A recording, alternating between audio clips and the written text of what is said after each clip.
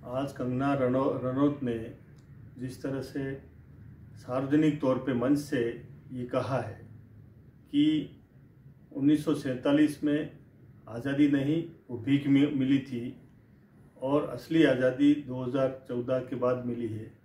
मैं ये जानना चाहता हूँ कि भारतीय जनता पार्टी के शीर्ष नेतृत्व का क्या ख्याल है इसके बारे में, जो कि आज इतने हमारे शहीदों ने अपने खून पसीना जान दे के इस देश को आज़ाद कराया। उसका अपमान हुआ है।